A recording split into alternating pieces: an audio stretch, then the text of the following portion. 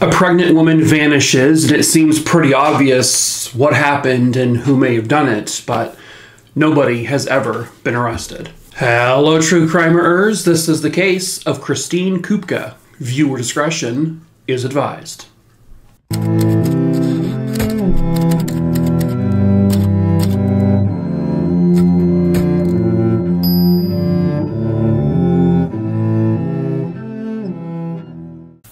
Quick before we get started, of course, hello, my name is Mike. If you're new to the channel, I tell three true crime stories every single week here on YouTube on Mondays, Wednesdays, and Fridays. So feel free to subscribe if you're into that kind of thing. You're cuckoo, cuckoo, wackadoo like the rest of us. Give this video a like so more people can see it, yada, yada, yada. I also tell short form true crime stories over on TikTok where I'm probably more known. I have around 3 million ish followers over there. If you want to check that out, go ahead. It will be linked in the link tree in the description of this video below. The link also pops up here at the beginning and also at the end of the video, so check it out if you want.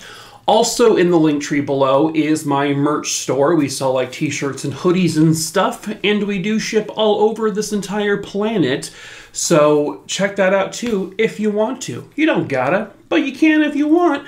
And then lastly, if there's a case you want me to cover, just email me. My email is listed below. Email me the name of the individual, where it happened, when it happened. I'll add it to the list. As of right now, I have over 5,700 names on that list. I pick my cases at random, so it may be a while before I get to that case, but I will get to it at some point in the future. I mean, stop it. Okay. But anyway, let us get into today's case, shall we? We shall. Okay. Again, stop. Kristine Kupka was born in Madison, Wisconsin, and that's pretty much where she was raised. She had two sisters. She grew up in a very loving household. Her sisters were like her best friends. After she graduated high school, at some point she would move to Atlanta, Georgia. She lived there briefly, but then she would find herself in New York City. Kristine was always a highly intelligent individual. She had a nearly 4.0 GPA, and she was someone who wanted to use her intelligence to eventually make some kind of difference in the world. She was, at the time of this case, I believe, attending Baruch College, and to make ends meet, she was working as a waitress at a restaurant in Queens. She lived in a pretty decent sized house that she actually shared with, I believe, five roommates. And by the time this case happened, she had been living in New York City for roughly three years or so. During her time at Baruch College, she would take a chemistry class. Well, it was taught by a professor named Darshanand Persaud, but he would go by Rudy. Apparently, she became very smitten with her professor. Rudy was this kind of quiet, shy, almost introverted guy, which she really liked because she was sort of the opposite. She was outgoing and was not afraid to say what was on her mind. And apparently, the two of them started dating shortly after Kristine was done with the chemistry class.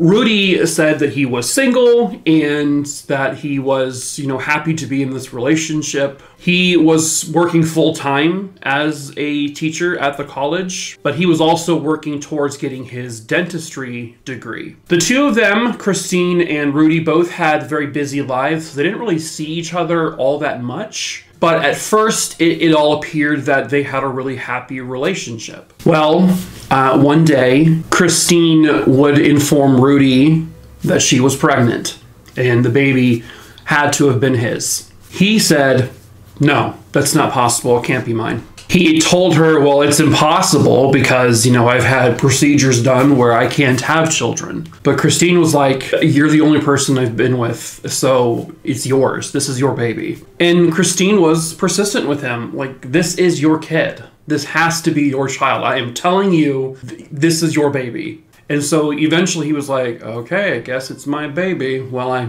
probably lied about that medical procedure I told you I had. It was a lie.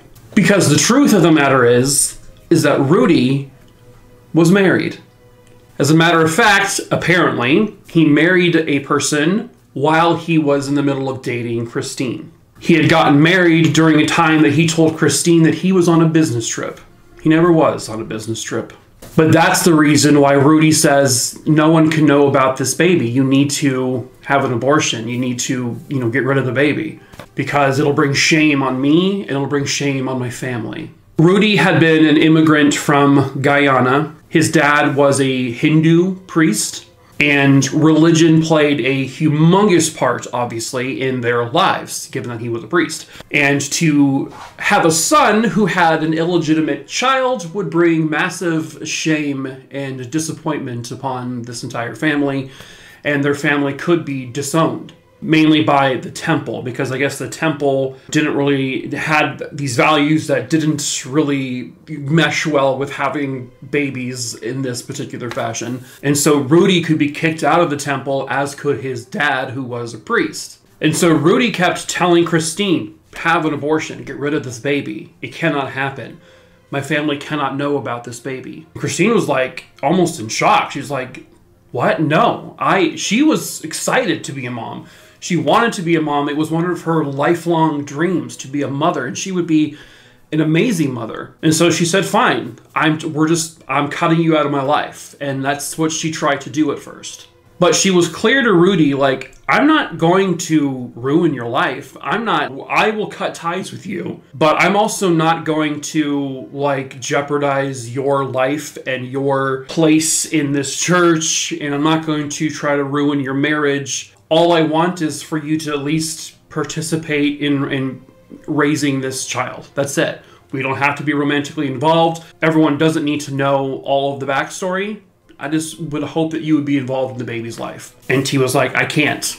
I can't do that because people would would find out. She was like, Well, I'm going to be putting you on the birth certificate because I need to, because you're the father of this baby. And she kept telling him it's best for the child to have a good relationship with both of its parents, including the baby's father. As a couple of months goes on, Kristine begins to tell her friends and family that Rudy is kind of scaring her at this point because he is being very adamant and very demanding, almost in a scary way, that you know she needs to get rid of the baby. It got to a point where Kristine was afraid of Rudy. She wasn't sure if if he was going to cause harm to her or do something to get rid of the baby himself. And so Kristine became jumpy. She became very uh, nervous and anxious, and she was kind of afraid to be out in public because she didn't know what Rudy may try to do. Kristine said, Well, told Rudy, like, I need you to sign this form. It's an acknowledgement of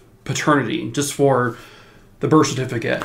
This caused a fight between the two of them. Afterwards, Kristine tried to get a hold of him again by use by paging his pager and she got a call back but it wasn't from rudy. It was from rudy's wife. The wife was like who is this? Because you know she heard the voice of another woman like what what are you doing with my husband? And so kristine was like oh i'm just a student of his and i had questions about an assignment or something. But as the two of them continued talking Kristine just basically told her the truth. Like, listen, I we were dating, I got pregnant, he's the father. Kristine told Rudy's wife, I have no intention of ruining your marriage. I don't want to get involved. I have I want nothing to do with Rudy in terms of being involved with him romantically. I just want him to acknowledge that he is the father and maybe take some part in this in raising this child. And so Rudy's wife, she's like, God, he's like, God damn it, he's ruined my life now. And and so the two of them, the two women, kind of sort of bonded for, you know, a brief time over this. But after a few phone calls, Kristine never really heard again from Rudy's wife.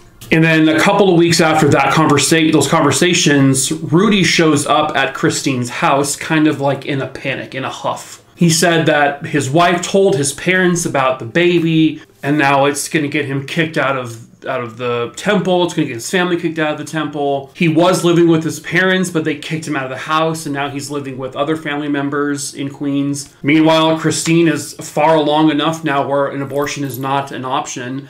And she's already chosen like the midwife. She's chosen where she's going to have the baby it's done deal. This is this is happening. At this point, she's about five, close to six months pregnant. Rudy essentially, because now everyone had abandoned him and left him, he's was trying to get back in good graces with Kristine. She let him back into her life not as a romantic partner, but just as the father of the baby. Suddenly, Rudy seemed to be okay with now being a father to this baby. He's, he seemed jovial about it. He was happy about it. He was like, okay, I'm gonna be a dad. And again, Kristine did not want to be involved with him romantically. She was actually trying to encourage him to go speak to his wife who he's now kind of estranged from and say like try to you know get back together with her so that he can be happy with his wife but also just sort of be there for this baby. The fears and the concerns about her well being that she had had over the recent few months about Rudy maybe doing something to her seemed to subside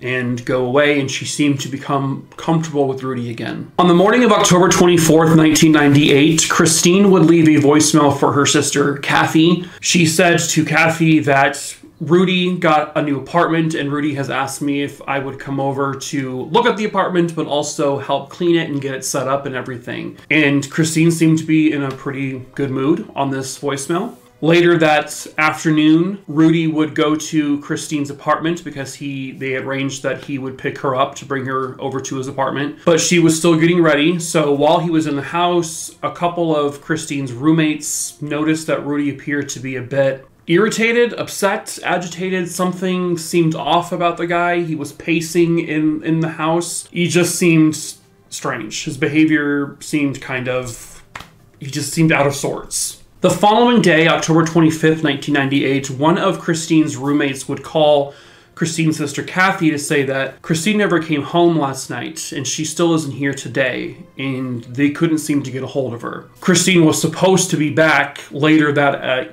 early evening ish because Rudy was supposed to drop her off, but that never happened. So Kathy and her husband, they end up just driving to Brooklyn and they go into the 70th precinct to say, I think I want to file a missing persons report because they had gone to Kristine's house before they went to the precinct and noticed that she still wasn't home and they didn't know where she was. And so they were concerned, to given how inconsistent Rudy had been about this baby and how Kristine had been afraid of him for some time. So they wanted to file a missing persons report, but the police were like, no, we can't do that. She's an adult. She's probably just out on her own. So sorry, can't do it. Bye.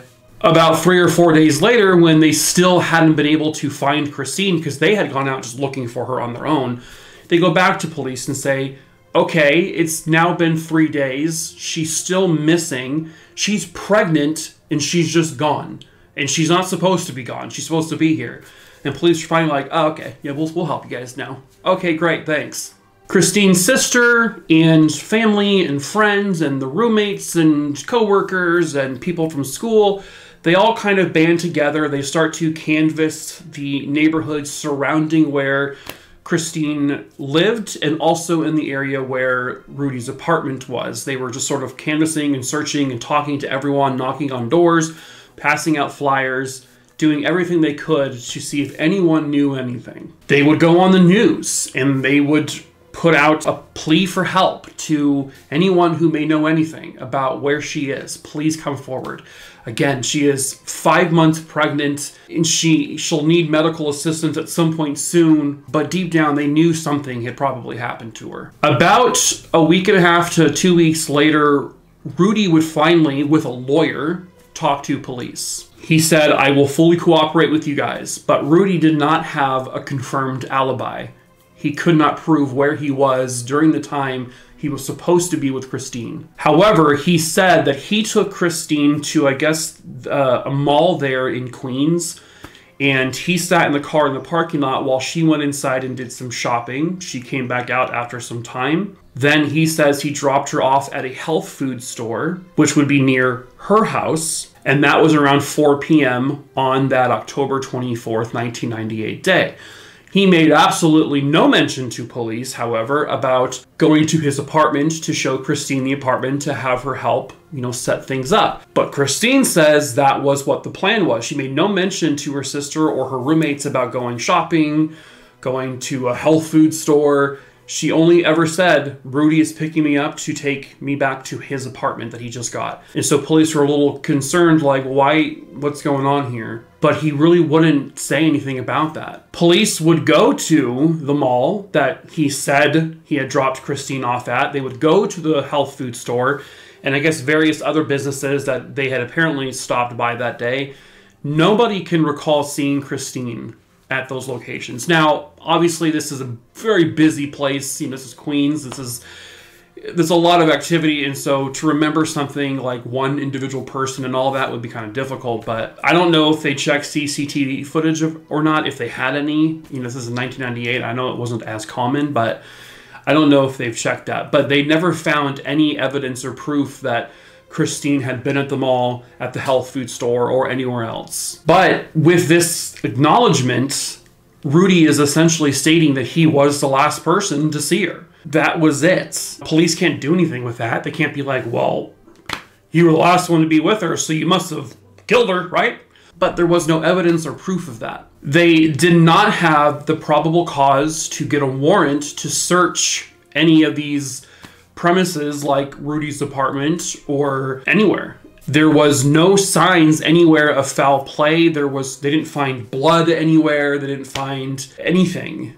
There was rumors amongst the community that perhaps Rudy had killed her and buried her underneath a business that his cousins owned. It wouldn't be until 2010 when Rudy's family, who owned that business, finally no longer owned that business and they vacated the premises and police were able to get a warrant then to search that business. The new people who had moved in allowed them to do it. They brought in a cadaver dog first, and the cadaver dogs did pick up on something. They picked up on the remains of something, something dead. So they end up excavating and digging underneath this business, but unfortunately, they do not find anything. There are no human remains or anything along those lines. The cadaver dog picking up on the scent, however, could indicate that at some point Kristine may have been buried there, but maybe once the family was leaving the business, maybe they dug her up and moved her before anyone could do anything. And so the police, again, are kind of back at, at square one. There, there is no, they have no proof or physical evidence that Rudy caused any physical harm to Kristine Kupka. The only thing they have is a motive. It's a pretty strong motive. It's a common motive, right? She was having a baby that he did clearly did not want her to keep or have. He was extremely persistent about it. Many witnesses could claim that he did not want her to have this baby for several personal reasons of his own.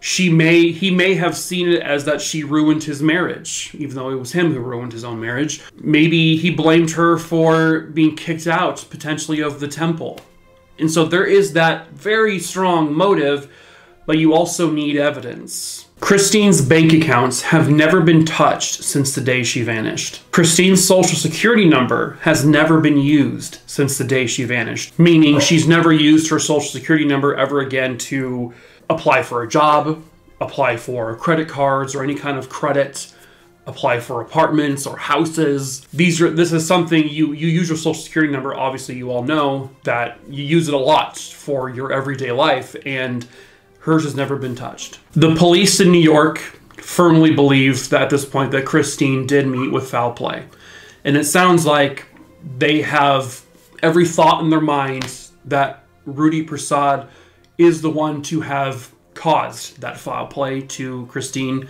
They believe that Kristine is no longer on this earth. Her family has since gone on like newscasts where the news reporters have asked like her sister, "Do you think Kristine is still alive?" And the family was very adamant, "No.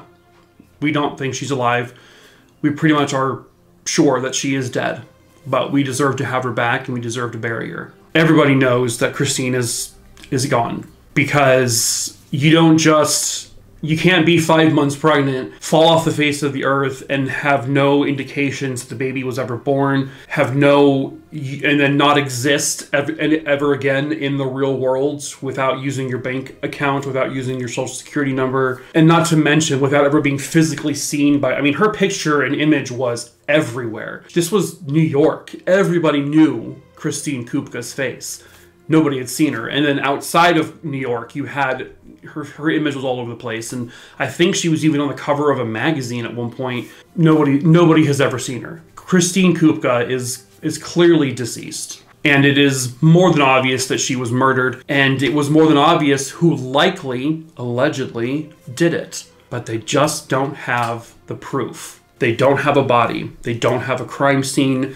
They don't have any signs of foul play anywhere. Kristine was 28 years old and five months pregnant at the time of her disappearance in October of 1998. She was supposed to give birth either in February or early March. They checked hospitals, and there were no records of, of this happening. Rudy has moved on with his life. As a matter of fact, he moved to Florida with his wife. I don't know if it's his a new wife or the same woman he was with during all of this. But he now he now has three children with this wife. He has the news outlets have tried to talk to him, but he refuses to talk to anyone in the press. He will not address the story. He will never address Kristine publicly, he says. He says, I have no knowledge of what happened to Kristine, and that's it. He's also uh, shown no signs of giving two flying shits about what happened to her. No emotions, no concern, nothing.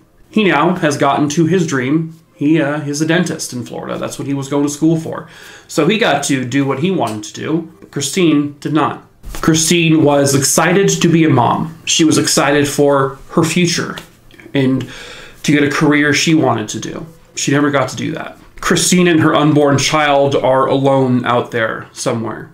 Kristine and her unborn child are probably just in the ground somewhere out there in the world. People may walk over where they are all the time, but nobody knows it. Kristine does not get to be a mom. She does not get the career she wanted. She does not get to share in the joy of motherhood with her family and her sisters, her friends. But the person who may have, allegedly, taken her away from the world, he does get to do all of that. He gets to live his life. He gets to have the, career he wanted. He gets to be married. He gets to be happy. He gets to live. Somebody somewhere out there has got to know the truth killers love to talk, right? But Rudy is a smart guy. He may know not to talk to anyone. But there's got to be something. There's got to be some kind of evidence. There's got to be some kind of, of anything. At the very least, to know where Kristine was put. And if that person is you, if you are the person who knows what happened to Kristine Kupka in October of 1998, please contact the New York Police Department. You can call them at 646 610 6914. You can report your information anonymously. You do not have to say who you are, you just have to say what you know. And hopefully, one day, Kristine Kupka and her unborn child will get the justice they rightfully deserve.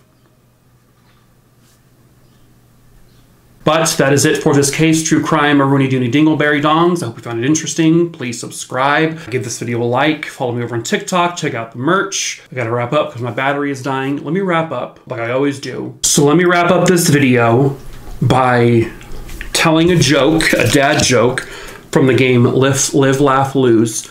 But I'll do so with a celebrity impression of Robert De Niro.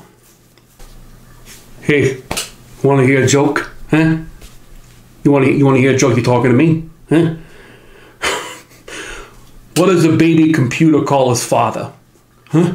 What does a baby computer call his father? He calls him Dada.